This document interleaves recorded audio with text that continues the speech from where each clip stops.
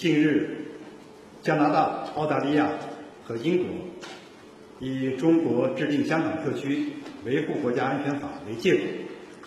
单方面宣布暂停与香港特区签订的移交逃犯协定。此举粗暴干涉中国内政，严重违反国际法和国际关系基本准则，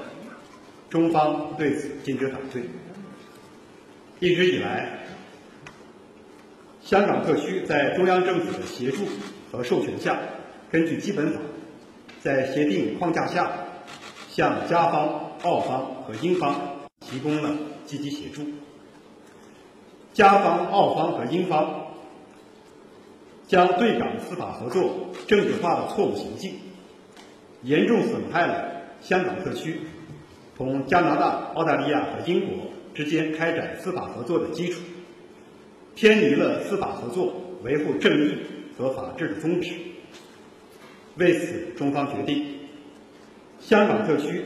暂停港加、港澳、港英移交逃犯协定，同时决定，